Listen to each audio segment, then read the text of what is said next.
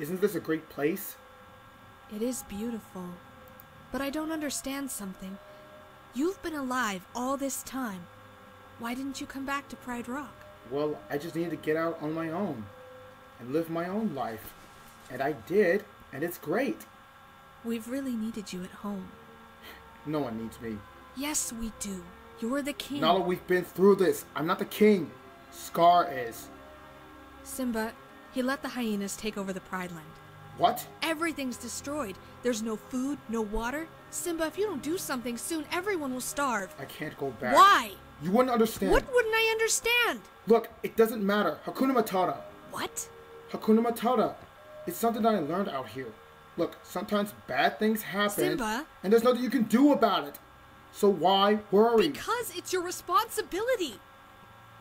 well, what about you? You left. I left to find help, and I found you. Don't you understand? You're our only hope. Sorry. What's happened to you?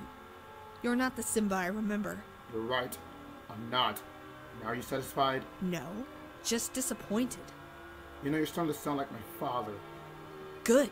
At least one of us does. Listen, you can just show up here and tell me how to live my life. You don't even know what I've been through. I would if you just tell me. Forget it. Fine. She's wrong. I can't go back. What would it prove anyway? It won't change anything. You can't just change the past. You said you always be there for me! But you're not. It's all because of me. It's my fault. It's my fault.